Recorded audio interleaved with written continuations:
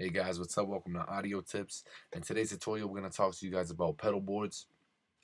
Uh, this is mostly for new, uh, new uh, beginners and new users to Logic Pro. Uh, keep in mind that if you do have Logic Pro, you do have all these uh, pedal boards that I'm going to open up, and you do have them for free.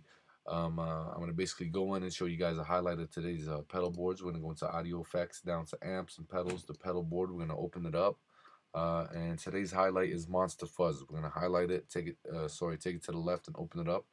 In the screen, you guys got your roar button, growl button, tone, texture, grain, and level uh, button. Uh, if we basically don't know what it does, we're gonna hover over it with the mouse.